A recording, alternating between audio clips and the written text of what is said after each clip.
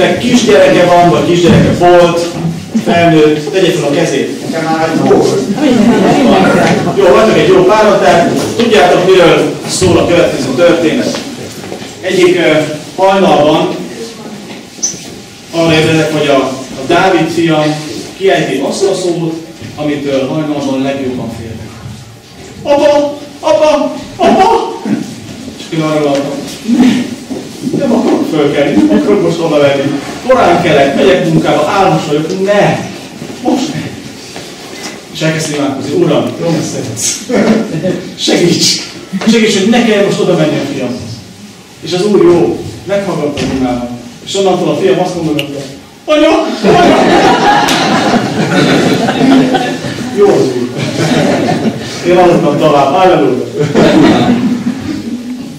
Tudjátok, időként föl kell tudjam, és ennek ellenére én nagyon szeretem őt, sőt büszke Nagyon ügyes, nagyon értelmes, engedelmes kisfiú. És úgy gondolom, sokan büszkék vagyunk a gyerekeink. Büszkék vagyunk a családunkra, a párunkra. De nem csak családra lehet büszkének lenni. Beszélményeként büszkék vagyunk a kézilabda Magyarként büszkék vagyunk az olimpiai eredményeinkre. Nagyon sok mindenre büszkének tudunk lenni, de akkor mi a olyan büszkeség? Az előadásom a boldogság rabból harmadik része, és a büszkeségről lesz szó. Először kezdtem az irítséggel, aztán a haraggal. A büszkeség abból a szempontból egy picit az irítséghez kapcsolódik, hogy ezt is nehéz észrevenni. A büszkeséget előbb észre a másikban, mint önmagunkban. Erre is érvényes az, az, amit Jézus mond a szálkáról, hogy előveszitek észre a szálkát a másik szemében, mint a gerendát a saját. A büszkeség ezért veszélyes megint, mert, mert nehezen veszed észre önmagadban. Lehet, hogy sokkal legintettetek, amikor hallottatok, a büszkeség nem érint. Valószínűleg akkor érint a leginkább. A farizeusok ezen bírtak meg. Büszkék voltak, nem ismerték fel. A Biblia azt mondja, hogy a büszkeség a vesztünket okozza. Példabeszédek könyve. Nagyon csökken. Én nincs bekapcsolva. Ezt mindig eljátszom. Elnézést. Tehát a példabeszédek könyve. 16-18. Összeomlás előtt kevésség a hírnök. Felforduló alkodottság jár a bukás előtt. Esetleg a büszkeség az ennyire veszélyes a vesztünket jelentheti, hogyha nem figyelünk oda rá.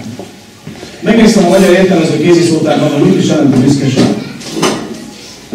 Megelégedettség vagy örömérzése amiatt, hogy tettünk, vagy amit egy másik személy tett, aki szoros kapcsolatban áll velünk. Ez nem hangzik túl veszélyesnek, meg bűnösnek sem. De ez, ez olyan pozitívnak hangzik. Ettől olyan nehéz a büszkeséggel dolgozni. De tovább nehezíti a Biblia is a problémákat. Ugyanis a Bibliában többször pozitívként tűnik fel a büszkeség.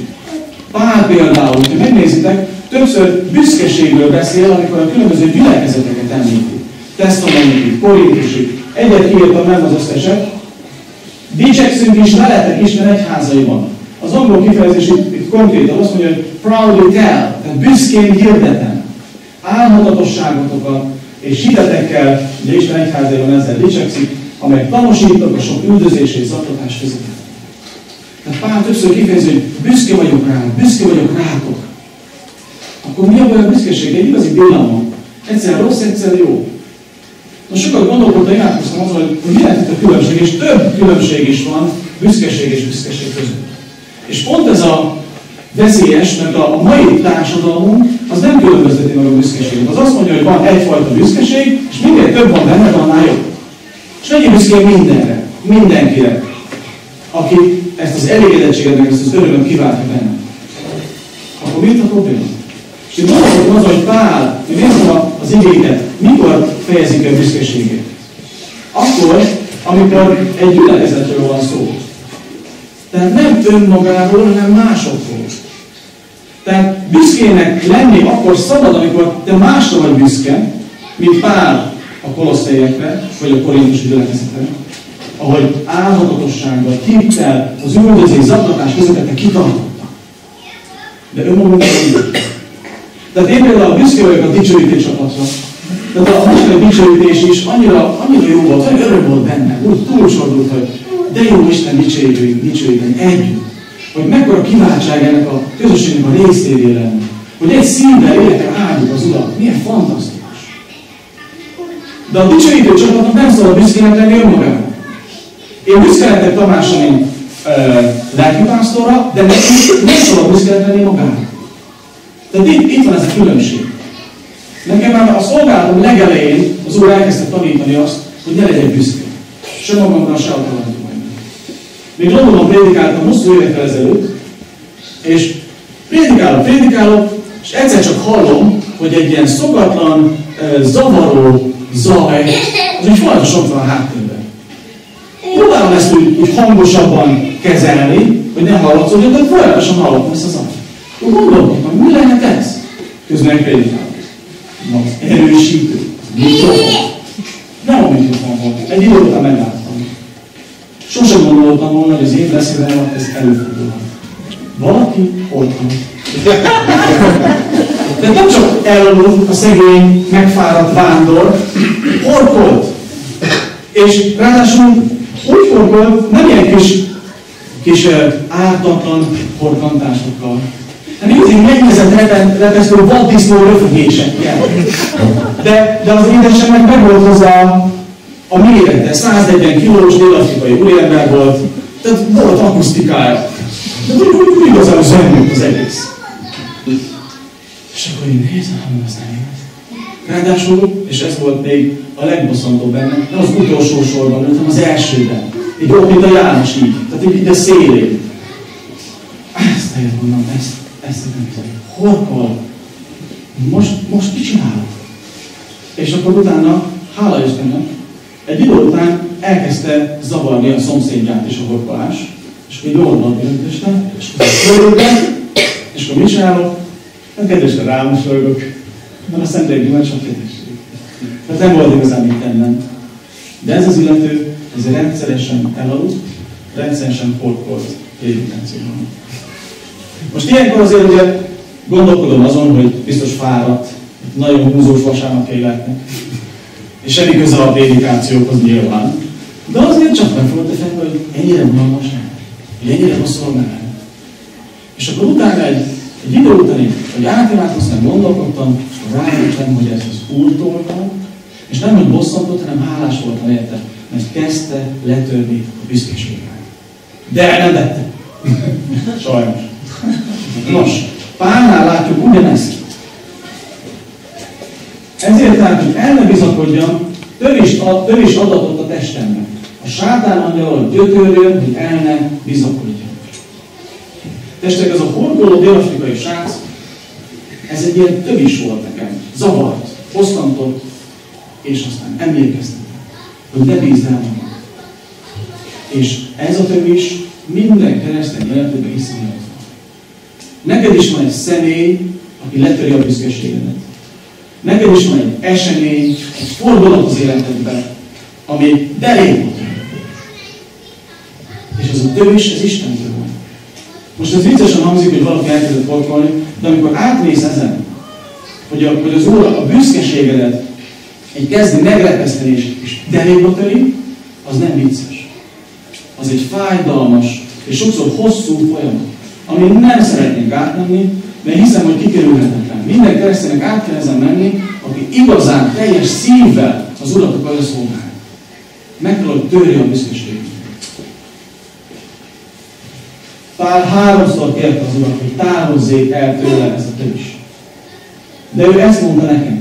Elég neked az én kegyelmem, mert az én erőm erőtlenség által ér célhoz. Legszívesebben tehát az erőtlenségeimmel dicsekszem, hogy Krisztus erre alapozzék bennem.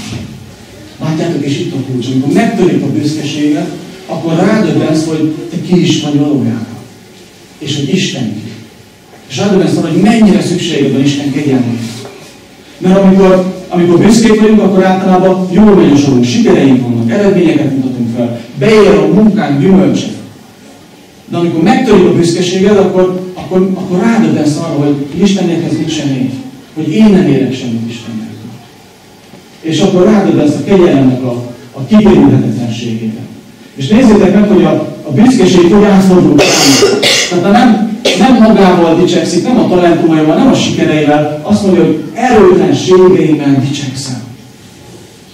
Egy ilyen transformáció megy át a büszkeségünk, amikor engedjük, hogy a tövisek azok behatolnak. Hogy elvégezzék azt a fájdalmas munkát a szívünkbe, hogy megtörjön a büszkeség. Lehet, hogy vannak most is közöttünk olyanok, akik, akik átmennek ezen a folyamaton. Korábban átmentél.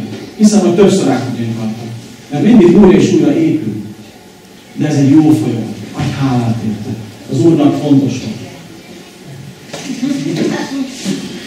Négy arcát szeretném mutatni a Biblia alapján a büszkeségnek.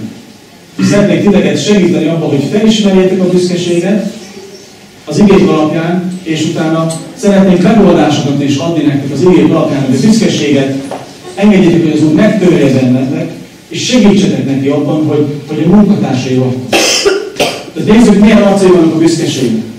Az első a színész. A színész az mindig többet mutat annál, mint aki. Tehát amikor te olyan sikerekkel dicsekszel, ami nem a te sikered. Amikor te fontosabbnak próbálod bemutatni magadat másoknak, mint akik te valójában van. Amikor csak színészkedsz, és egy hamis képet adsz az embereknek önmagadról, akkor ez a büszkeség ott van benne. Lehet, hogy te csak egy kis cica vagy, de oroszlának mutatom magad. Akkor ott van benne a büszkeség. Heródes a például a Bibliából. Egy kitűzött napon Heródes felöltözött királyi ruhába, és a trónjára ülve beszédet intézett hozzájuk. A néperi felkiáltott. Isten hangja ez, nem emberé. Az úranyja pedig azonnal lesújtott rá, amiért nem Istennek adta a dicsőséget. Félkek emésztették meg, így pusztult el. Felfúvalkodottság jár a munkás előtt. Herodes megjelent a király pompájában, élvezte, hogy az emberek többnek látják kőzőt. Istennek dicsőítették, és ő elfogadta. Azt a dicsőséget, ami Istené volt. És Isten egyből esült.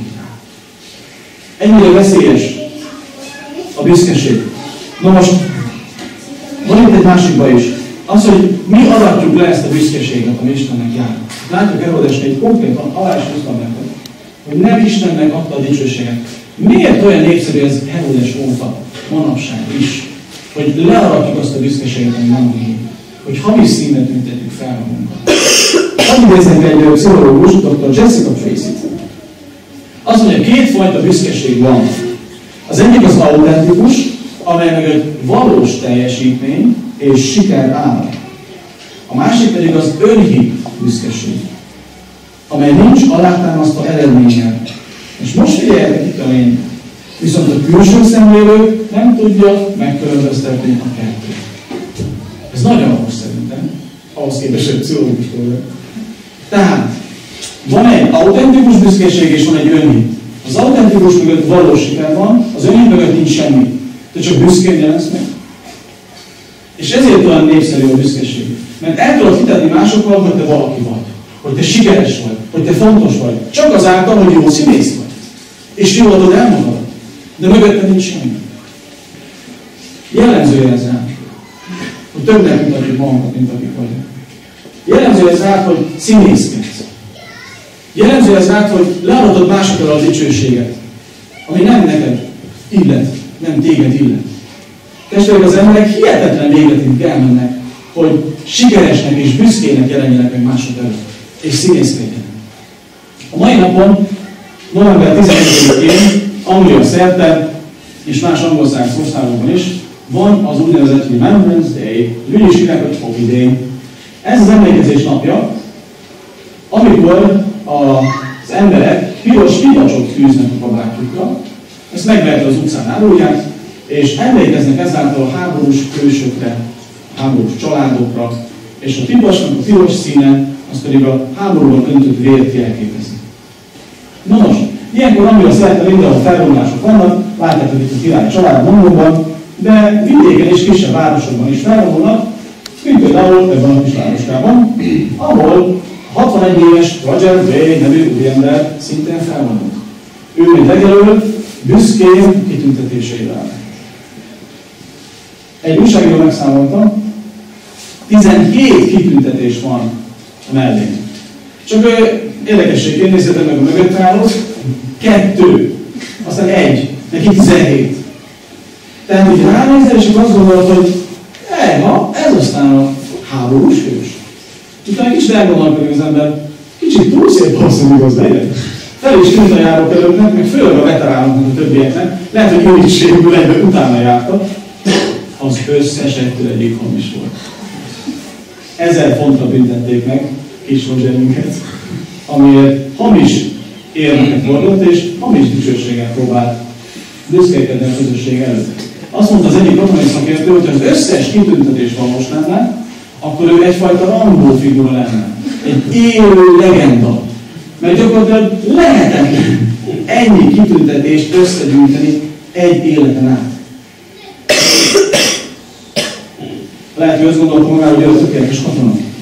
Már pedig tudjuk, hogy nincs tökéletes ember, kivéve egyet, aki állásinterjúra jelentkezik. Olvastátok-e, hogy több mint a fele azoknak, akik állásinterjúra jelentkeznek, az fület. Tehát az felértékeli a nyelvtudását, fényezi a végzettségét, photoshophozza, photoshophozza az életkorát, csak hogy még jobbnak, még sikeresebbnek tűnjön, hogy esélye legyen. Mindent megtesznek az emberek azért, hogy színészkedjenek, és azáltal lerassanak babénokat. Mi úgy éljük el a hétköznapjainkat, mint állásinterjú lenne. Mi gyakran tűzünk el hamis kitüntetéseket a mákosnak. Magasabbnak gondoljuk el magunkat, mint amit vagyunk. Többnek, fontosabbnak. Magasabb pozícióról szállunk ebben a munkahelyen az ismerősöknek, mint amiben valójában vagyunk. Velem az megtörtént. Én sem vagyok kivétel, én is küzdök a büszkeséggel, mint mindenki. Amikor uh, Angliában éltünk, akkor én ott uh, evangelizációs koordinátor voltam fél időben, a másik felében pedig a, a, a, gyakor, a takarító csapatnak voltam a vezető. Volt tíz emberem, ugye a nemzetközi társaságban, én koordináltam a, munkájuk, a munkájukat, tárgyaltam beszállítókat, stb. Tehát az én feladatom nem takarítás volt. De ezzel már, hogy, hogy team leader voltam, benne voltam a vezetőségben, és menedzser volt egy hivatalos pozíció. Tehát amikor hazajöttünk Magyarország szabadsága, érezték, hogy és egyébként mit csináltok kint, utána, hogy mondtam azt, hogy hajó csapat vezetője vagyok, hogy hangzik már az, azt mondtam, hogy menedzser vagyok. Egy ifjúsági szállodán. És ezzel nem hazudtam. De tényleg azt mondtam. Csak nem mondtam a részletet. És aki kíváncsi volt, hogy de mégis milyen menedzser, hát sokféle menedzser van, oké, valami vezető pozícióban vagy, de mégis milyen menedzser? Akkor én kozmetikáztam kicsit az optikáján az egésznek, azt mondtam, hogy housekeeping manager. És akkor mindenki mi az? Nem kérdeztek vissza. Hogyha tudtak angolul, azért nem kérdeztek vissza, ha nem tudtak meg azok. Büszkeség ott van mellé, de hogy nem baj, hogy eljöttem, mit csinálsz. Tehát ezzel mindannyian küzdünk. Mi a Biblia megoldása? A színész büszkeségére. Ne színészkedj, légy őszinte. Hallottunk egy külön beszédet az őszinteségről. Ő nem beszélek könyvben mondja, jobb a szegénynek a őszinte, mint a hamisnak, mert hiszen az bolond. Tehát a Roger Dale úriember a 17 kitüntetésével a Biblia szerint egyszerűen bolond. És tényleg a falu bolondjává vált. Mert mindenki csak kinevette őt. Az angol azt mondja, hogy így lett a hero zero. Azt mondja a Lukács evangélium. Óvakodjatok a farizeusok kovászától, vagyis a képmutatástól. Nincs semmi elrejtve, ami nyilvánosságra ne kerülne. És tudok, amit kire tudod. Amit sötétben mondok, világos nappal hallják. És amit az átfalak közt súgtok, azt a háztetőtől fogják hirdetni. Gonosz elhiteti velünk azt, hogy nem fog kiderülni. Nyugodtan színészkedj, nyugodtan hirdesd a világban, hogy ki vagy, nem fogják kitalálni. Dehogy nem. Vikili kiszivárogtatja. Azt mondja a Lukács evangélium, hogy ami sötétben mondott, világos nappal hallják majd. Háztetőtől fogják hirdetni, hogy te ki is vagy valójában. Inkább legyünk őszinték, különben a falu lesz mondja a Biblia. Következő alatt a büszkeséget. A nagy dumás. A nagy dumásra, hogyha beszélsz, akkor azt mondja, hogy fú, képzeld el, ilyen pénzt csináltam, ilyen sikereim vannak, te láttad az új iPhone-ot? Jó, meg egyébként a autót is. Meg a hol voltam sírni? De? Fú, te jártál már? Mi a különbség a nagydonás a színész között? A színész az hamis eredményeket mutat fel. A nagydonás nem hazudik. Ő tényleg ezeket megcsinálja, de állandóan arról donál, hogy neki milyen sikerei vannak, eredményei, mennyi mindent fel tud mutatni, és csak ekközben állnak a gondolatai. Bibliai példán Ezékiás, Júda király. Hadd kérjem meg, elnézést kicsit innen kell. Tamás, meg kell most felolvasni egy szíves ezt a részt nekünk. Abban az időben Meródiak, Baladán, Baladánnak, a Babiloni királyának a fia levele és ajándékot küldött Ezékiásnak, Júda királyának. Mert hallotta, hogy Ezékiás beteg lett. Ezékiás meghallgatta őket, azután megmutatta nekik egész kincstárát, az ezüstöt és az aranyat, a balzsamokat és a finom olajokat, a fegyvertárát és mindazt, ami a kincstárában található volt. Semmi sem volt a palotájában és egész birodalmában, amit meg nem mutatott volna Ezékiás. Ekkor Ézsaiás prófét elment Ezékiás királyhoz, és megkérdezte tőle. Mit mondtak ezek az emberek, és honnan jöttek hozzá? Ezékiás így fel. Messze földről, Babilóniából jöttek. Ézsaiás így szólt. Mit láttak a palotában? Ezékiás így felelt.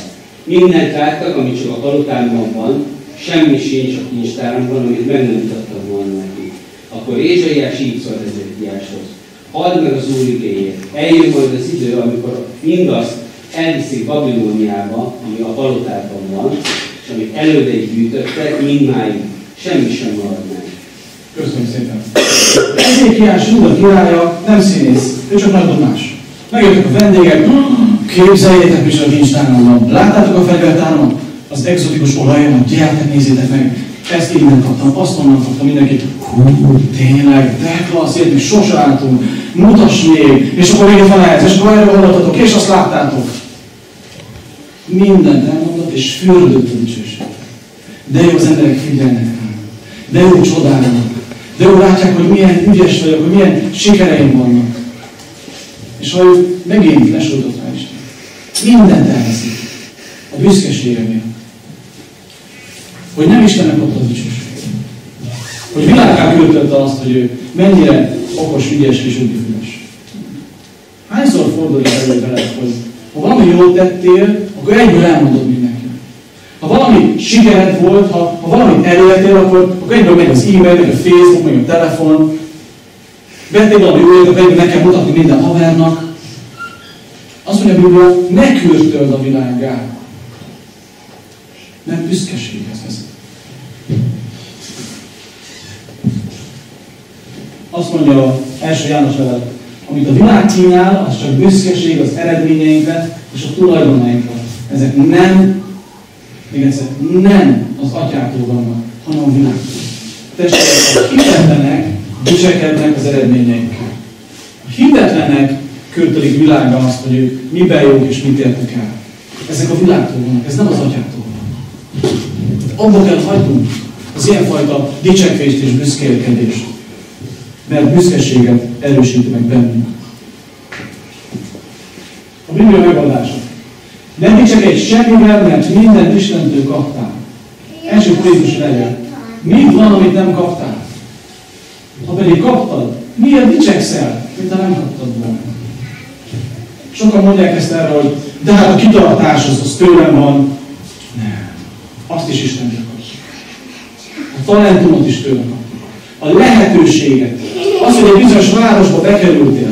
Az, hogy egy bizonyos egyetemet elvégeztél, az, hogy egy előre, előre léptetést nyertél el a munkahelyen, mind Istentől kaptad. Akkor miért dicsekszünk, mint ha nem kaptuk volna Akkor miért füldünk mások elismerő szavaiban, akkor miért keresünk mások figyelmét, mikor Isten illeti a dicsőség. Nekünk az ő dicsőségét kell keresnünk, nem a sajátunkét. Az ő sikereit kell hirdetnünk, nem a sajátunkét. Figyelnünk kell a büszkeségre, mert tönkre vágja az életünket. Tehát ha Isten adott neked valamit, ha hálás vagy valamiért, ha megállott téged, én azt mondom, adj hálát, és maradj csendben. Nem kell mindenkinek tudni minden siketünket. Sőt, legjobb, ha semmiről sem Azt mondja a Biblia, hogy ilyenkor a legjobb útmód az, hogyha magasztaljátok szólítsátok nevét, hirdessétek műveit a népek között, daloljatok, zenéljetek neki, hirdessétek minden csodáit. De ez a mi keresztény feladatunk, hogy az ő csodáit hirdessük, nem a saját csodáinkat. Nekünk nincsen csodáink. Az ő műveit zengünk, ne a saját műveinket. Azért tettem ide Tim Hughes-nak a képét, az ezen a napról készült ez a fotó, mert uh, egyszer hallottam őt beszélni Londonban, és mondott egy történetet a büszkeségről. És itt is valós eredményekről szó van szó, valós sikerekről, tehát a nagydomásról inkább, mint a színészről. Énekeljük is a dalait, a Te győztél, minden bűnt ellettél, az is Tim vagy a Itt vagyok, hogy ágyam, az is egy Tim Hughes dal. Elég sok dalt énekelünk föl, és ez utóbbi, ez 2004-ben Amerikában az év keresztény dal volt. Úgyhogy gondolom nagyon büszke volt erre a dalra. És egy dicsőítés során épp ezt a dalt is énekelte, és a dicsőítés végén jöttek oda hozzá az emberek a, gyülekezetből, és ő meg úgy érezte, hogy különösen jó sikerült a dicsőítés. Tehát, hogy minden klap volt, a, a band együtt volt, szívvel énekel, áldottak az urat, a hangja is jó volt, a szíve is a helyén volt. Tehát, hogy mondott, hogy na, ez egy klassz dicsőítés volt. Tehát már várta, hogy jön ez a hölgy, és akkor majd előre mosolygott, hogy fú, no, és mit fog mondani, hogy tényleg jó sikerült, klassz volt minden, és jön ez a hölgy, és akkor mosolyog, tessék, tessék, és mondja a hölgy, hogy hát volt egy dal ma este, a, az itt, itt vagy, itt vagy, vagy itt állok el? Bocsánat, az is. Mert I, irányom to worship, az angol megnevezés, és azzal kellett, hogy eljöttem, hogy áldjam, köszönöm szépen. Ez az eljöttem, hogy áldjam, dal, hát ez, és akkor a Tim már 2004 év dal Amerikában, jó sikerült ma is, gondolt magában. És ez a hölgy mondja, hogy hát ez a dal, ezt játszánk, akkor nem tudom miért, de engem mindig ilyen fizikai rosszul lét környékez. Én egyszerűen nem tudom ki ezt a dolgot, de egyszerűen hány ilyen van az autó. És akkor Köszönöm, Uram! Köszönöm, hogy megtöröd a büszkeségem. Köszönöm, hogy emlékeztetsz, hogy tőled kaptam. Köszönöm, hogy leteszítisz arra a klórról, amit téged illet meg.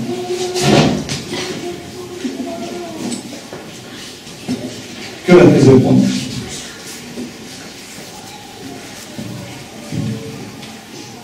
Narcisztikus.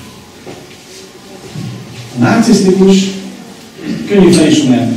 Amikor egy, egy narcisztikus, büszke emberrel beszélgetsz, Kiváltó emberekkel beszélgetünk. Készül fel a riporter szerepre. De te kérdezel, ő beszél. Beszél, beszél, beszél, sohasem kérdez vissza. Innen lehet megismerni narcisztikus büszkét.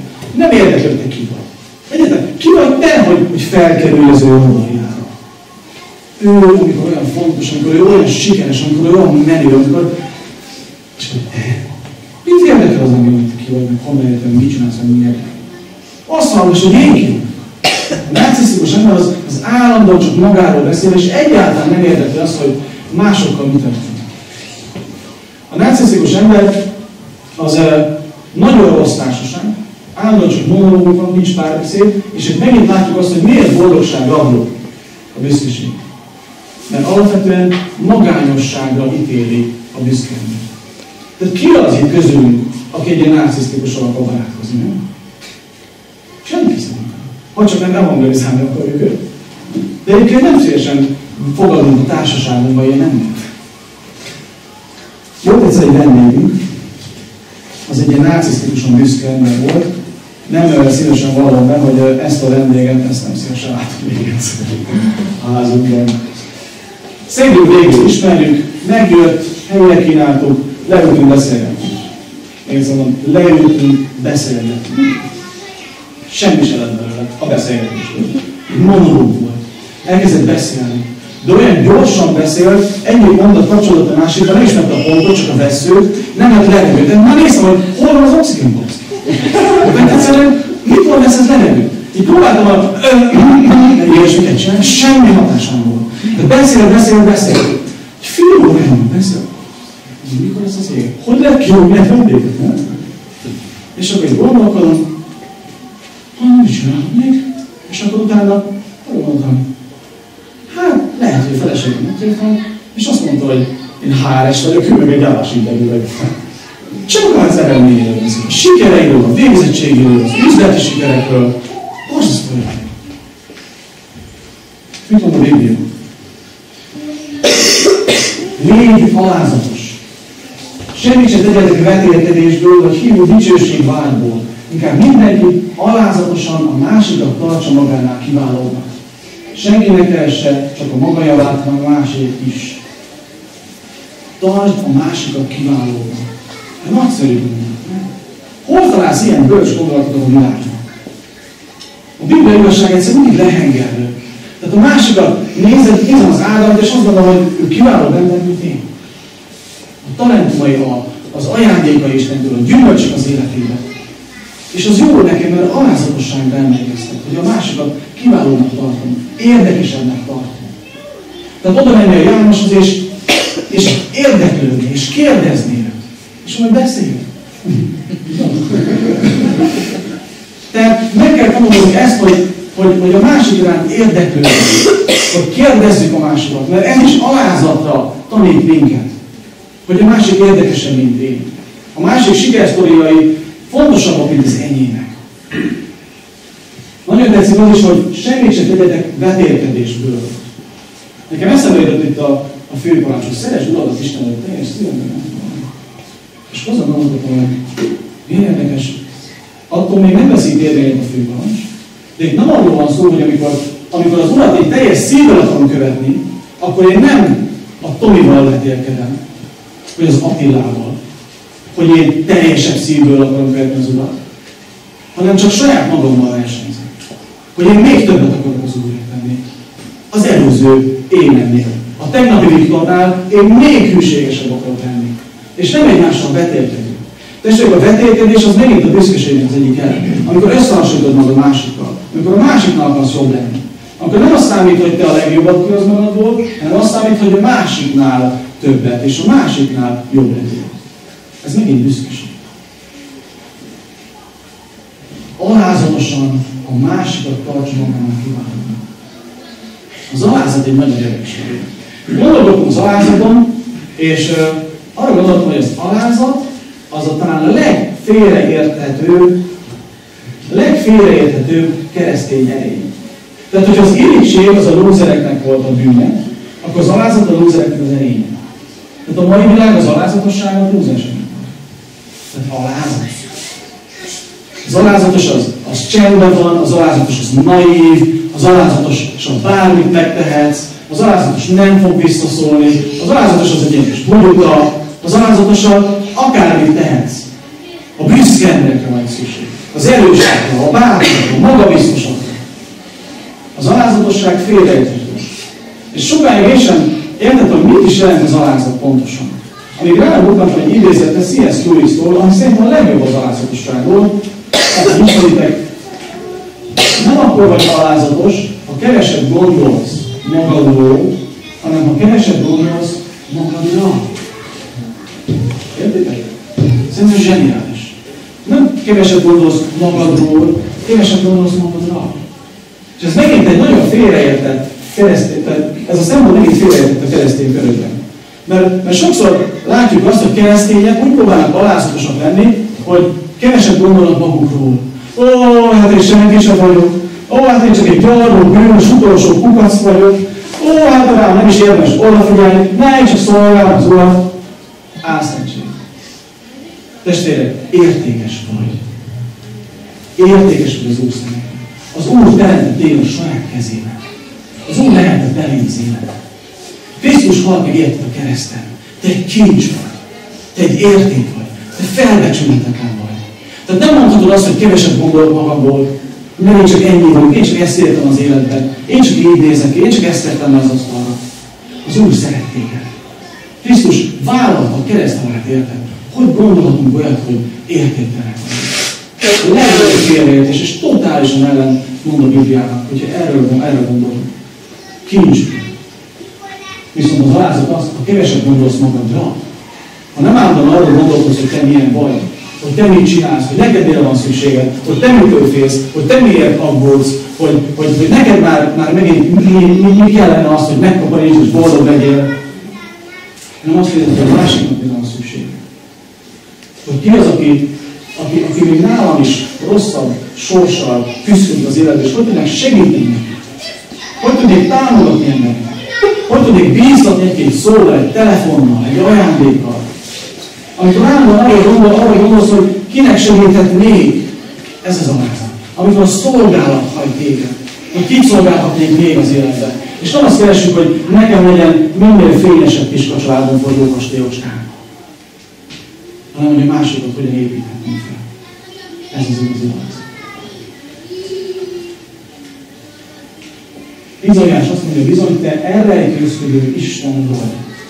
Nagyon érdekes így, talán nem is találkoztam vele, valahogy elsikott a, a szemem fel.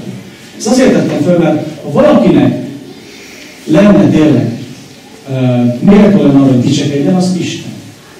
És Isten sem dicsekszik például a teremtéssel. Tehát ha én teremtettem volna, mondjuk Réót, Réó Dezsán eljöttem volna, Hát szépen megküldeni, nem? Hát tengerek, tényleg hegyek, hát azon torgó, tengerpart, pámfák, minden. Hát jól sikerült, nem? És Isten nem dicsekszik el. Isten, még Balatoni naplementével sem dicsekszik. Tehát valaha is, láttad már azt, a Balatoni naplementénél, hogy ő alsó sorban oda volt írva, hogy kézzel készítette, Isten. Isten nem küldte világra azt, hogy ő mit művel, ő mit tett. Ide vonatkozik bizonyás, hogy te egy elrejtőzködő Isten vagy. Te nem tolod be az arcunkba azt, hogy te vagy az univerzum ura, hanem szeretettel, alázattal. Olyan furcsa ezt megérteni, az értelmemet így szétfeszíti, hogy Isten univerzum ura, minden ő teremtett, és alázatos. Hogy ez, ez olyan fantasztikus. Alázattal teret ad nekünk, szabadságot ad hogy felfedezzük őt. Hogy ne csak róla szóljon így mindig minden, hanem, hanem hogy kibontakoztassuk az életünket, és aztán rádöbbenjünk arra, hogy mégis mennyire jól dolgozom. De nem erőlteti rá. Jézus maga alázatos volt. Az előző versnek a folytatás az így következik. Semmit se tegyetek vetélkedésből, vagy hiú dicsőségvágyból, inkább mindenki alázatosan a másikat tartsa magánál kiválóban. Senki ne keresse csak a maga javát, hanem a másét is. És most a folytatás. Ugyanazt a lelkületet ápoljátok magatokban, amely Krisztus Jézusban volt. Isten formájában volt, és az Istennel való egyenlőséget nem tartotta olyan dolognak, amelyhez föltétlenül ragaszkodnia kell, hanem kiüresítette magát, szolgai alapot öltött, és hasonló lett az emberekhez. Külsejét tekintve olyan lett, mint egy ember. Megalázta magát, és engedelmezte mind halálig, mégpedig a kereszt halálig. Tehát, hogyha Krisztust akarjuk követni, ha olyan akarunk lenni, mint ő, akkor ezt a lelkületet kell ápolni magunknak. Tehát lehet, hogy voltál egy magas pozícióban. Lehet, hogy olyan büszke voltál. Lehet, hogy voltak olyan sikerek, amikor kiúztak magad. És aztán azt elvették tőle, és kiúzták a talált a lábad akkor gondolj Krisztusra. Ő még az Istennel való egyenlőséget sem tekintette valami olyannak, amihez ragaszkodnia kellett volna, hanem önként ragad. Testvérek, ha ez történik ha büszkeséget tűnik meg, akkor add oda. Légy Krisztus. Mondd le róla. Felejtsd el, hogy milyen volt. És légy nyitott. Engem úgy megerősített a Tominak a, a vallomása, a dicsőítésára.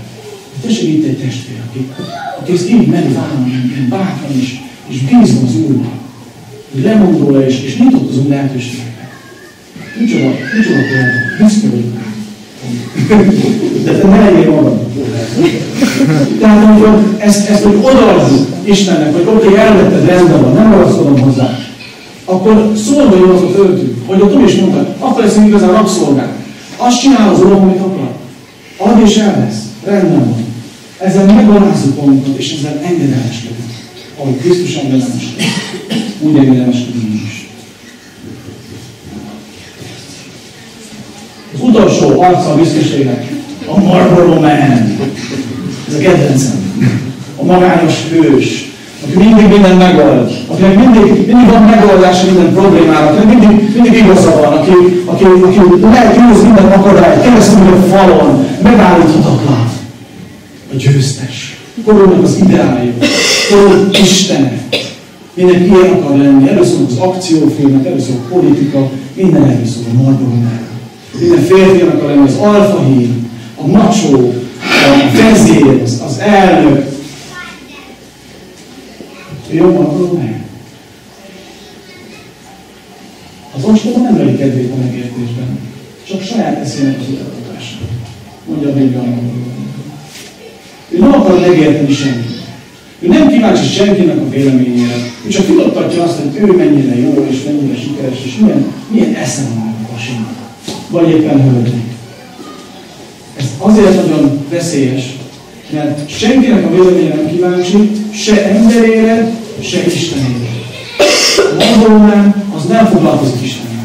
Nekem te nem meg, hogy kéne jön. Nekem te nem meg, ez az orvos több ezer könyv, ez bármi jelentősége is volna az én életemre. Rengeteg kérdélem ezzel kapcsolatban. Tudósoknak bebizonyították, hogy. Azt mondja a Biblia, hogy a bűnösök túl büszkék ahhoz, hogy Isten keressék. Azt hiszik, hogy Isten hallgat. Amikor ilyen büszkén viselkedünk, akkor azt mutatjuk a világnak, hogy nincs Isten, aki alá én tartozni, aki nekem a főnököm, aki az én menedzserem, aki az én igazgatom. Hát, hát én körülöttem fogom világ. A Marlboro szintén fel lehet ismerni egy dologból. A narcisztikus arról, hogy ő sosem kérdez. Nem érdekel, hogy te ki vagy. A Marlboro sokszor arról lehet felismerni, hogy ő sosem kér bocsánat. Ismertek ilyen embereket. Tehát ők leszólnak téged, ha te elhibáztál valamit, de hogyha ő hibáz, mert ő sosem hibáz. Mert ő tökéletes. Mert neki mindig igaza van. Nincs miért bocsánatot kérni. Vigyázzunk ezzel a margó mert hat. Mert az emberek sokszor körülöttünk így viselkednek. És ezeket a mintákat, ezeket könnyen magunkra veszünk, így ránk hallgatnak. Simánkozom azért, hogy a, hogy a Szentülek jövő héten is úgy emlékeztessen titeket ezekre, hogy amikor így viselkedtek, akkor beugorjon, hogy hoppá, ez büszkeség. Hogy, hogy alázatot tanuljatok, és egyre inkább olyan legyetek, mint Krisztus. A keresztényeket sem kíméli, tehát, mint látjuk, büszkeség. Itt van egy másik példája. Az elbizonyolottaknak, akik meg voltak volna győződni, hogy igazak, és a többieket megvetették, ezt a példát mondta. Két ember fölment a templomba imádkozni, az egyik farizeus volt, a másik város. A farizeus állt előre, és így imádkozott magának. Isten, hálát adok neked, hogy nem vagyok olyan, mint a többi ember. Raboló, igazságtalan, házasságtörő, mint az a város. Kétszer vagyok hetenként, mindenből tizedet adok. A város megállt hátul, személy sem merte felemelni az égre. Inkább a mellét verte és könyörgött. Isten irgalmaz nekem bűnösre. Mondom nektek, hogy ez megigazolta ment haza, az nem. Aki magát felmagasztalja, az megalázkodik. Aki megalázza magát, az felmagasztalja. Sokszor látunk én keresztény, magukat kereszténynek mondó embereket, akiknek az élete önmaguktól szól. És egyben ők nem paráznák valóban, ők nem lopnak, nem csalnak, ők jó dolgokat tesznek, de állandóan maguk körül forog az élet. Tehát például, hogyha megnézed, hogy ez miért imádkozik, hogyan imádkozik, ez Istenhez imádkozik. Fontos azt mondja, hogy nem vagyok, kétszer börkölök, fizetet adok, a saját sikereiről beszél Istenről. Ahelyett, hogy Isten dicsérjük. Imádkozunk így. Hogy arról beszél, hogy, hogy de jó vagyok, de ügyes vagyok, egy is sikerül, az is, amen. Testvéreim, amikor Jézus erről beszélt, akkor azt akart nekünk tanítani, hogy nem a saját jó tetteink igazítanak minket, hanem Isten. Nekünk Istenre van szükség. És sokszor a büszke vallásos ember, a büszke hívő, az gyakorlatilag Isten úgy tekint, mint egy díszlettre. Ő egyébként teszi a dolgát, egyébként tényleg egy jó ember, büszke is magára, és Isten igazából nincs szüksége. Ezért fontos, hogy Isten megtörje a büszkeséget. Hogy rádöbbenjünk, hogy de szükségünk van rá. De ő a megváltó. De ő az Úr. Nem én vagyok az Úr. Mi a Biblia megoldása? Vald meg bűnödet, nem vagy tökéletes, és szükséged van másoknak. Tehát, hogy mondtam, Marlboro nem kér bocsánatot. Neki nincsenek bűnei, neki nincsenek hibái. Ezért van egy jó büszkeségre a rendszeres vallomás, bűnbánat. Tedd rendszeres az imáidba azt, hogy, hogy megvalod a bűneidet. Mert ez lerombolja a büszkeséget. Amikor rádöbbensz arra, hogy hát csodálva már megint ezt elkövettem. Mégsem vagyok annyira jó, mint gondoltam. Nem arról van hogy ne bíz Istenből, jobbá és jobbá tesz. De hogy meglásd azt, hogy neked mi is a valós pozíció Isten előtt. Mi is a valós helyzeted az emberek között. Ezért fontos a, a bűn vallomás, hogy, hogy lásd valósan a saját életet, hogy te mégsem olyan tökéletes, mint mondom. Ezt mondja az Úr a júdaiaknak és a jeruzsálemieknek. Mondjatok le a büszkeségetekről és hatalmatokról, és változtassátok meg a szíveteket az Úr előtt. És a bűnbánat azon megváltoztatja a szívet. Hogy beismered, hogy nem vagy tökéletes, nem én vagyok az Isten. Te vagy. Te vagy tökéletes. Te vagy a szent. És én szeretnék olyan lenni, te vagy. De még nem vagy. De egyre közelebb. És a másik, ami, amire egy ilyen magányos hősnek szüksége van, egy büszkének, egy marmoló mennek, az a közösség. Hogy emberek között legyen. De ő alapvetően magányos akcióhős, neki senkire sincs szüksége. Testvérek, ismerjük be, szükségünk van egymásra. Szükségünk van a másikra. A keresztény az nem egy sziget. Mi nem magányos akcióhősök vagyunk. Mi, mi egy tímnek vagyunk része, egy közösségnek. Így tükrözzük le a Szent Háromságot, ami szinte egy közösség. Isten nem egy magányos hős. Ezért is fantasztikus a Szent Háromságnak az igazsága, hogy Isten egy közösség, egy tím. Nem, nem egyedüli action hero. Ő megvalósítja már, már azt a közösséget, amit nekünk meg kell valósítani. Ezért bátorítanak titeket én is, hogy csatlakozzatok kis csoporthoz. Legyetek ott a házi csoportban. Ezzel is lehetőséget adott Istennek, hogy a biztosséget lerombolja. Azt mondja, hogy nekem nincs szükségem kis csoportra. Nekem nincs arra időm, hogy emberek közé Nekem nincs arra egyáltalán lehetőségem, mert ez nem annyira fontos. A legfontosabb. Hogy hétköznapokon is ott legyünk, és hogy itt hallottuk, barátságok erősödjenek meg, kapcsolatok. Hogy, hogy az alázat az egyre inkább el, elterjedjen a szívünkbe azzal, hogy, hogy beismered, hogy igen, kedden nekem ott kellene ember között vagy, vagy, vagy csütörtökön, vagy hétfőn.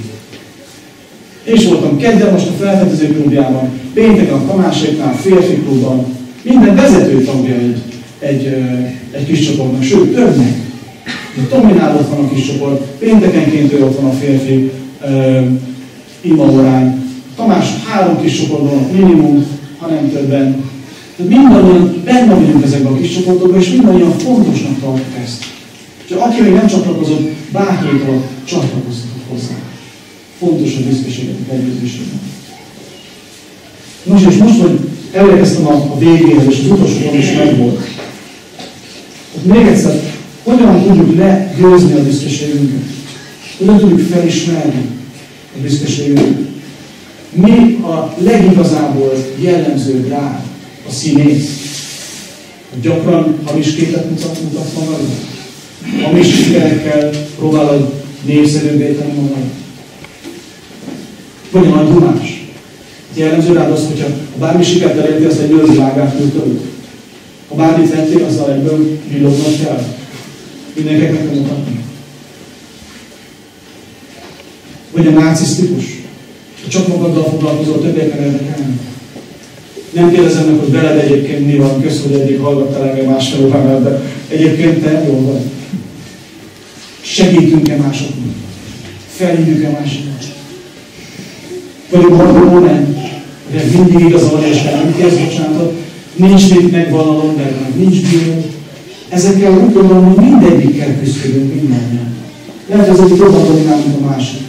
De az, hogy lelépjünk a trónról, az, ahhoz be kell ismernünk azt, hogy őszintének kell lennem, és igaz képet kell mutatnom a másnak, és nem színűzni. Másrészt nem szabad minden sikerről beszélnem, hanem hálásnak kell értük lennem Istennek. És neki kell adni a dicsőséget. És őt kell dicsőíteni, hogy ő legyen egy nagyobb, én egyre. És nem körülöttem forog a világ, mint a nácisztikusok körül, hanem fontos a másik. És végezetül nekem nincs mindig igazam. Be kell ismerni alázattal, hogy követünk-e bűnöket. Ezt meg kell vallanunk Isten előtt. És azt is, hogy szükségünk van. És így van esélyünk arra, hogy leküzdjük a büszkeséget, és alázatosak legyünk, a Krisztus alázatos volt. És végre felülhessen a forra az, aki igazán megérdemel. Jézus Krisztus a király. Valamennyien legyetek alázatosak, mert ez Isten a büszkéknek ellenáll. Az alázatosaknak pedig kegyelmetlen. Amen. Imádkozzunk, és örömmel dicsőjük csak a tőlünk